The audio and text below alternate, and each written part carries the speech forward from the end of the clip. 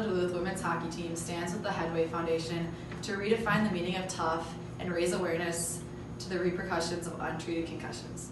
A big resource that we have as athletic trainers when dealing with concussions is the honesty and transparency of the athletes when dealing with symptoms related to a brain injury. As athletes, we need to work together to recognize and report symptoms of concussions. We pledge to encourage our teammates to speak up with symptoms no matter how small they seem. We pledge to support our teammates through their recovery. We pledge to stop playing immediately if we think we may be suffering from symptoms after a hit. We pledge to allow players to completely recover from all concussion symptoms before returning to the game. We pledge to be cognizant of our hits and to avoid hits to the head, neck, and from behind. Although it may be hard for us to take time out of the game we love, we pledge to put our brain health first. Research has shown returning too early after suffering a concussion slows the brain's healing process.